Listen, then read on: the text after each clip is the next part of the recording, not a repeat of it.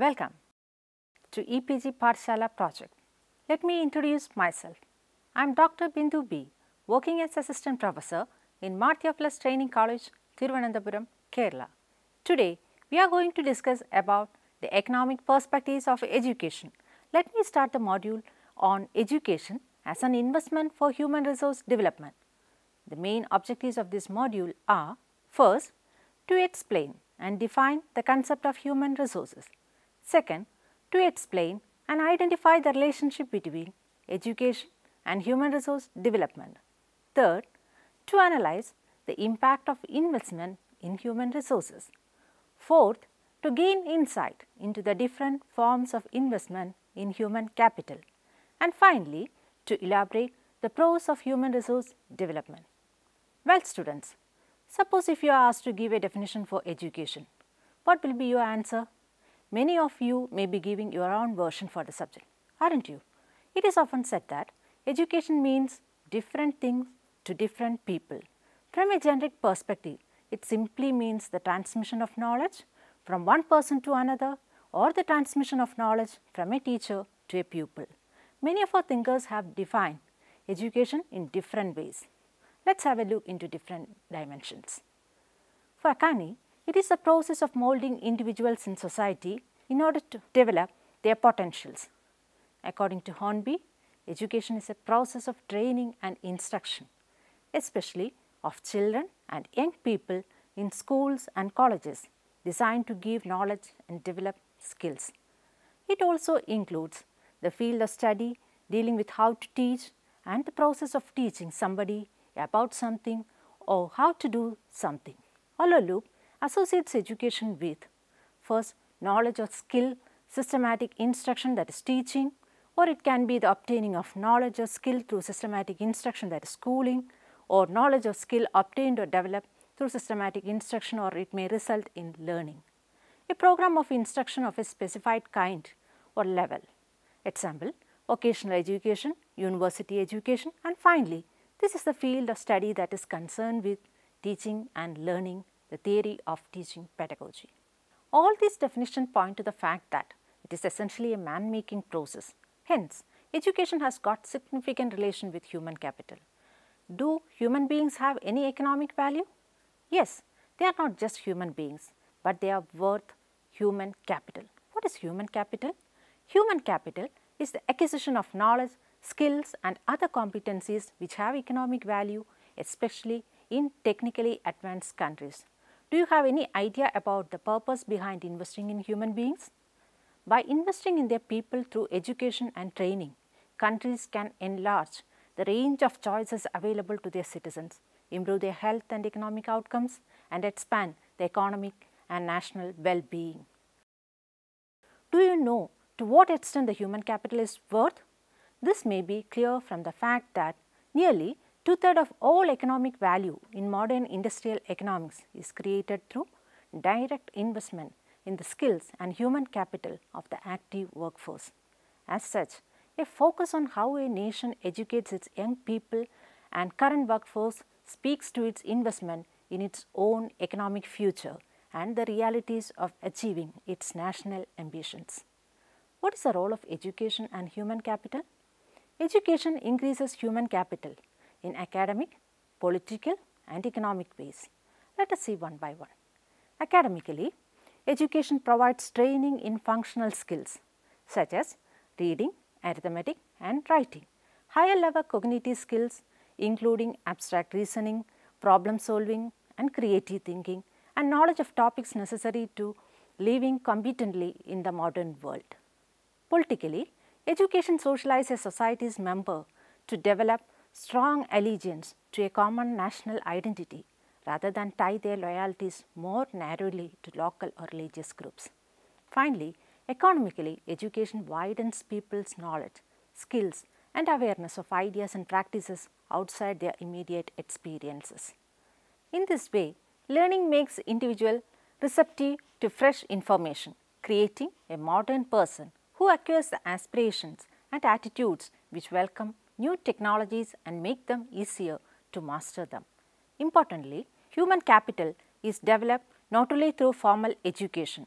About two to three times as much human capital is created at the workplace as in formal learning institutions such as schools or universities. You might have got some experience about the workplace. We learn many things through our exposure, especially how to deal with people of different nature, to adapt to new situations, etc. Let us see the skills learned from a workplace. Skills learned in the workplace include communication skills, team behavior, problem solving, leadership as well as functional work knowledge and capacities needed in a particular educational or industrial setting. The more complex and demanding the jobs such as engineers, lawyers and operational managers, the more opportunities for learning. Increased learning means increased employability and product value. At the same time, jobs which require continual learning tends to have positive externalities. That is, they create work for a number of other new or related jobs. Investment is common term in business world. What does it mean? An investment can be generally described as the use of money for the purpose of profit making or achieving success in business. Technically, the term investment is defined as the process of adding to stocks of productive assets, which may include the acquiring of fixed assets such as buildings, plants and equipment. If so, what does it mean by investment in human resources? An investment may also include spending money to improve the quality of existing human resources in an organization through education. Education is a service sector. Do you know why it is included in service sector? Because it is designed to produce educated men and women who will contribute to the labor market and ultimately to the economy.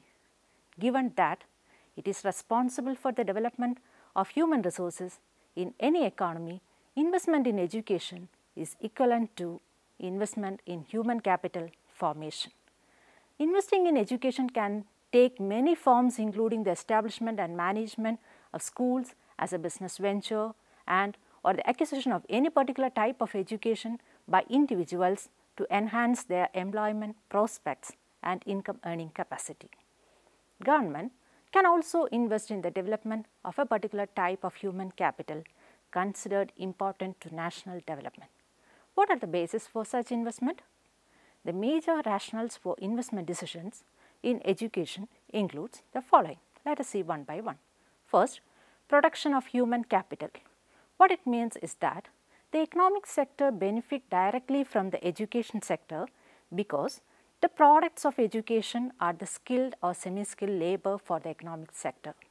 The application of economic principles in the provision of education ensures adequate production of relevant human capital and the reduction of wastage in the process of human resource development. Second is the cost effectiveness. That is, the application of prudential principles in resource utilization in the practice of education ensures that investment in education produces a labor force that is relevant to the economy in terms of quality and quantity. The production of irrelevant labor amounts to increased unemployment and a waste of education resources.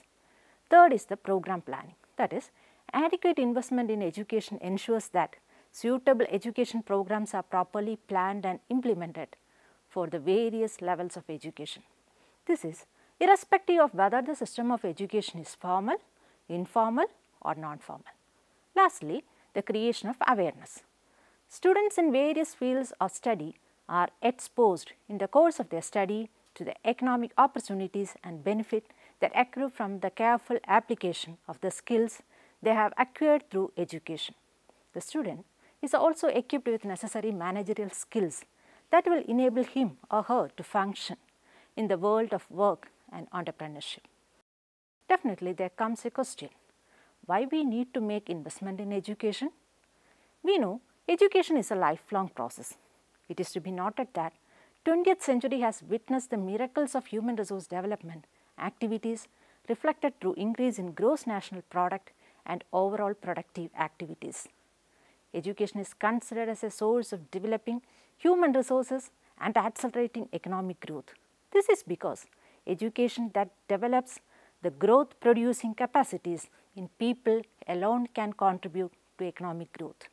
There are four growth producing capacities that educational strategy may manifest itself in.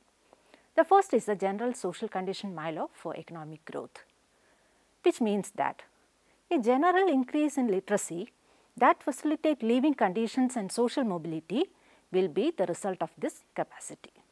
The second capacity is the ability to develop complementary resources that is new resources for factors which are relatively in plenty and substitutes for comparatively scarce resources. Education by developing the managerial talents in people can make them use more and better natural resources and invent new resources as substitute for scarce one. Without education, people would be far less adaptable to varying production needs. The third growth producing capacity is that education process is the durability of educational investment. Education has more durability than most other human that is physical reproducible goods. In countries where life expectancy is long, where people live and work for more number of years, the durability is still longer. The depreciation of human capital occurs at a slower rate than for physical capital. Physical resources may soon go out of date, but with reference to human capital, only the specialized training of the lowest sort will become completely out of date. The fourth growth producing capacity of education is the result of education being an alternative to consumption and private investment in physical capital. When we spend money on education, we may also do at the expense of the consumption which means that is foregoing some other convenience. When the government spends money on education, we may call it as investment in education. It does so at the expense of outlay for other than educational ends. Even though human resource development and human capital formation seem similar, there are certain differences. What does it actually mean by human resources? Human resources refer to all the human beings in an organization. In the generic sense, it may be used in reference to the population of a country. For instance, India is believed to be rich in human resources because of its large population. Human beings constitute resources because in their developed state that is being adults, they can be engaged in the production of goods and services. In their undeveloped state, usually that is in childhood, they constitute potential factors of productivity. The labor force on the other hand refers to the men and women in a country who are physically and mentally ready for employment in the production of goods and services. It excludes school children and adults who cannot take up wage employment. Human resource development refers to all the activities directed towards the preparation of individuals or groups for the positive engagement in the economic sector. It includes all education programs, on the job or in service training, skill acquisition programs and industrial training schemes. Human resource development, usually known as HRD, has been defined by various scholars in various ways. Let us have a look into the various definitions. According to Leonard Nadler, human resource development is a series of organized activities conducted within a specialized time and designed to produce behavioral changes. In the words of Professor T.V. Rao, human resource development is a process by which the employees of an organization are helped in a continuous and planned way. First, to acquire sharpened capabilities required to perform various functions associated with their present or expected future roles. Second, develop their capabilities as individual and discover and exploit their own inner potential for their own and or organizational development purpose. Third, develop an organizational culture in which superior subordinate relationship, teamwork and collaboration among subunits are strong and contribute to the professional well-being, motivation and pride of employees. Let us have a look into the definition of M.M. Khan.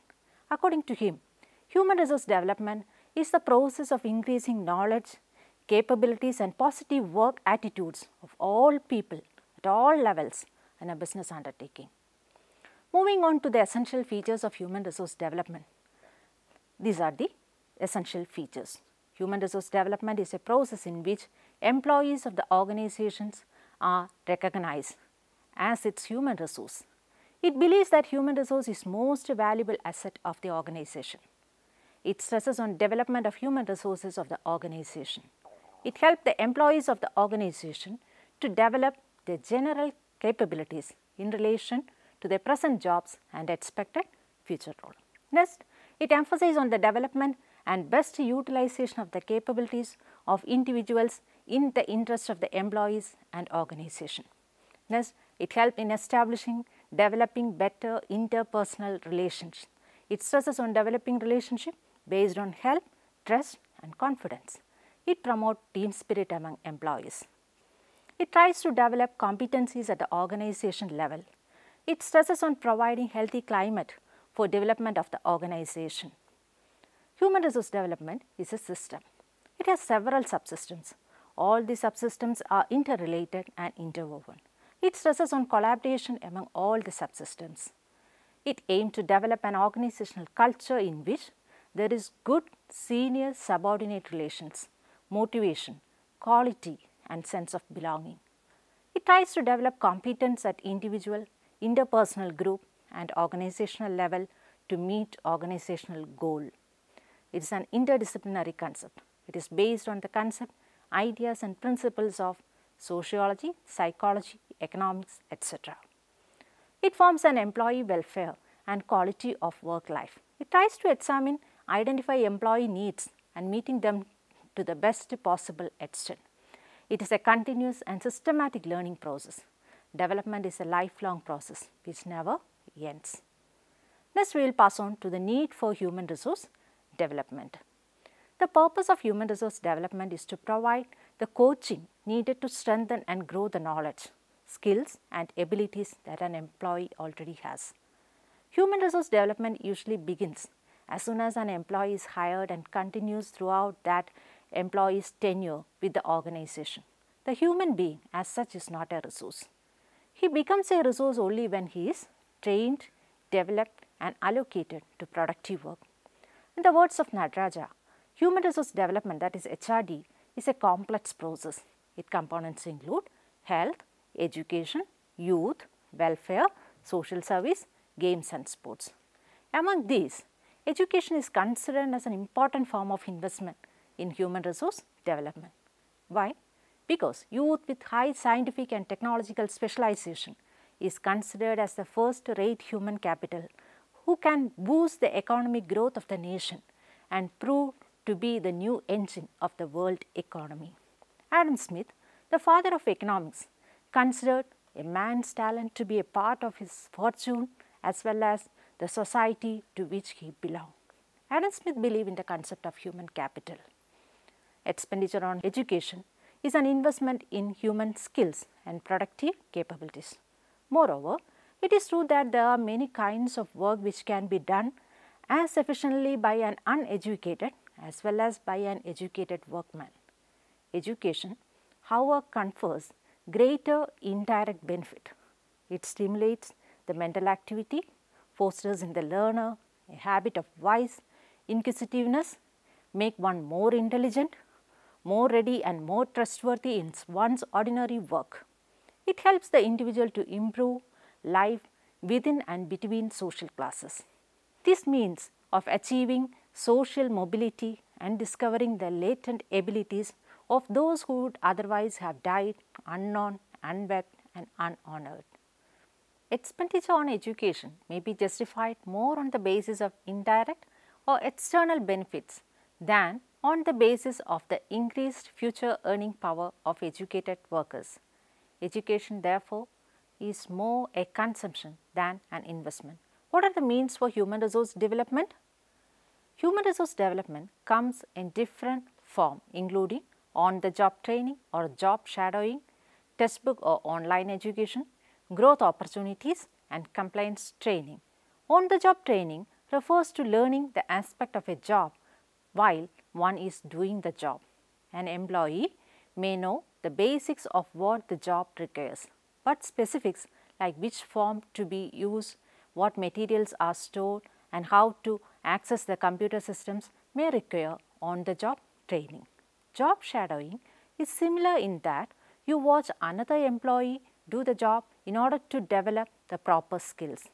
Another form of development is intellectual or professional development which includes college or certification courses or job specific trainings and seminars related to how to do one's job better. Investment in human capital over two decades in 17 emerging economies has accounted for about half of a percentage point in their annual growth. And it is found that one more year of schooling can increase gross domestic product per capita by 4 percent to 7 percent. Investment in human capital is essential for the economic development of a nation. All developing countries are trying to invest more on every sector, but investment in human capital may be responsible for much rapid rise in the real income of the country. The benefit of the increased investment in human capital can be measured by the increased earning potentials. Alfred Marshall viewed education as a national investment and in his opinion, the most valuable of all capital is that invested in human beings. T.W. Schultz viewed human resources as a form of capital, a produce means of production and the product of the investment. Education is the investment in human capital. It can of different forms, expenditure of education, on-job training, institutional training, formally organized education, adult education, etc. Investing in education is critical to fostering growth and innovation for generations to come. Technological change is creating new opportunities and presenting new challenges. Improving our children's education is the surest way to ensure a brighter future. Let me make the investment function very simple. For example, without education, a man or a woman is economically similar to uncultivated or unimproved land. The expenditure that one incurs on the maintenance of one's health is something similar to the expenditure just like protecting the land from fire or erosion. Future earning value of such an individual will be limited to his or her native endowments of strength, quickness and effort. Education, training and development of skill will raise his economic value. To raise the economic value, he must be developed as a human resources as we develop the resources of the earth or soil by cultivating it by tilling, watering, adding manures or fertilizers. Investment must be made in him which means we need to spend money on him now to increase his future earning power. And the important investment is in his schooling and training. Education is a means for economic development. Education has been and will continue to be the potential cause for change in any society. Realizing the importance of education the rapid economic development of the nation, the Secondary Education Commission has observed that the aim of secondary education is to train the youth of the country to be good citizens who will be competent enough to play their part effectively in the social reconstruction and economic development of the country. Educational programs can accelerate the pace of growth and prosperity of a nation. India is in a position of transforming itself into a developed nation by 2020. In the words of Dr. APJ Abdul Kalam, education is an endless journey through knowledge and enlightenment which could open up new vistas of development. The wealth of nations depend on how effectively young minds are trained and educated to take up the challenges of the future. Kothari Commission has rightly remarked that the destiny of the country is being shaped in her classroom. Hence, we should strengthen our educational programs carried out in the country from elementary level to the higher education. While the school education equips the society with the enlightened workforce, higher education provides competent leadership by supplying a well-developed human resources such as engineers, doctors, managers, teachers and so on. It is this human resource which finally takes the responsibility of operating the development of the nation. Education is a process of enriching human beings by systematically imparting knowledge, skills and training in life in different capacities. It is through several years of schooling and work experience in institutions of higher education that young man or woman equip himself or herself for gainful employment. According to Rao, as a result of the training given in the educational institutions, the pupil must acquire productive capacity, be in a position to act in the sum total of production and in fact more than they would have done in the absence of education. Therefore, education is considered as a process of investment in human capital. The five important ways to develop human resources are health facilities and services broadly conceived to include all expenditure that affect the life expectancy through strength and stamina. Second, on the job training. Next, formally organized education at the elementary, secondary and higher levels. Fourth one, study programs for adults that are not organized by firms including extension programs notably in agriculture. Fifth one, migration of individuals and families to adjust to changing job opportunities. In the wider sense, investment means expenditure on health, education and social services and in the narrower sense, it implies education and training. This investment would help to overcome many characteristics of labor force that act as an impediment to greater productivity. The major barriers experienced are illiteracy, unreceptiveness to new knowledge, fear of change, lack of incentives, immobility, etc. Could we adopt this strategy in educational planning, thereby accounting to country's growth? That is, human resource approach in educational planning is needed. Manpower approach is otherwise called human resource development approach. Why this is needed? For the social and national development of a country needs the development of human resources. These human resources have well defined knowledge, attitude and skills. The training and development of human resources is the first and foremost concern of a nation. The training and the development also changes with the changes in economic, scientific and technological developments. Development of human resources is only possible through proper educational planning. When educational planning takes into account of human resources needed by the country, it follows manpower or human resource development approach to manpower planning.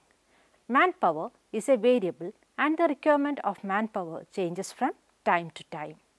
Manpower planning aims at the production of more human resources in more demanding professions of the time. Unemployment can occur due to improper manpower planning. Manpower planning relies on the fact that education must be linked with jobs. Some of the advantages are increase in productivity, increase in earning capacity, more sophisticated technology, reduction of crime, improved public health, greater political engagement, greater political civic engagement. So, to conclude, what we need is to develop our nation is a mass movement to educate our masses irrespective of their class and region. Never bother about the money we spend, it is not expenditure, but it is only an investment for the future. Thank you.